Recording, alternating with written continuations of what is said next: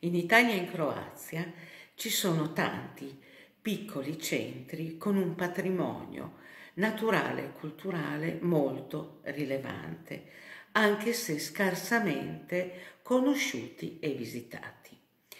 L'obiettivo principale di questo progetto è quello di far conoscere questi luoghi e incentivare il turismo contribuendo anche a una migliore distribuzione territoriale dei flussi turistici in Italia e in Croazia.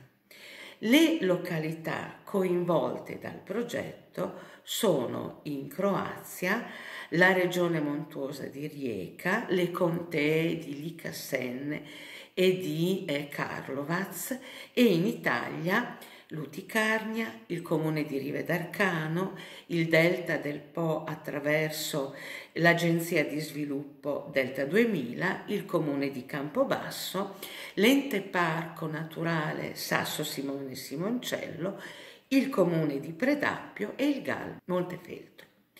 Nel progetto sono anche coinvolte tre università, l'Università di Udine, l'Università di Bologna e l'Università di Zara.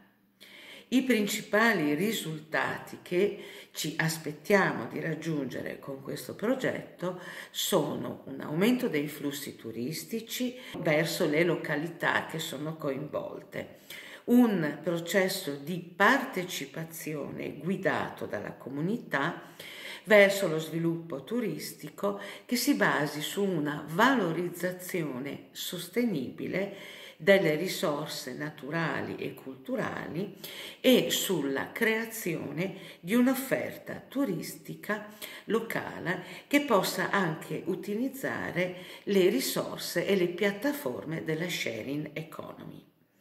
Infatti attraverso gli strumenti della sharing economy si possono valorizzare e utilizzare non solo le risorse locali, ma anche riuscire a dare delle risposte ad alcune carenze presenti sul territorio per quanto riguarda ad esempio l'offerta di alloggio e il trasporto locale. Ma lavoreremo anche sulle conoscenze, le abilità e le capacità della gente del posto, che sono a tutti gli effetti uno dei fattori di maggiore attrazione del luogo. La nostra cornice di riferimento è quella dello sviluppo turistico sostenibile e uno dei suoi pilastri è l'approccio partecipativo. Quando usiamo il concetto di partecipazione lo decliniamo in due modi. Innanzitutto partecipare significa essere parte di un processo e quindi agire in maniera consapevole. I partecipanti sono coinvolti in azioni specifiche e sono chiamati a decidere.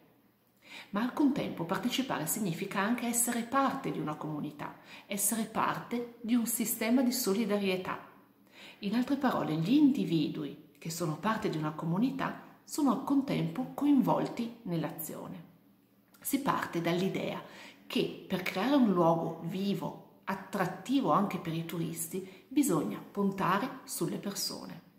Lo scopo di questo progetto è quello di facilitare il coinvolgimento della gente del posto nelle attività turistiche, dalla creazione dell'immaginario del luogo, ossia come il luogo viene presentato ai turisti, alle possibilità offerte dalla sharing economy.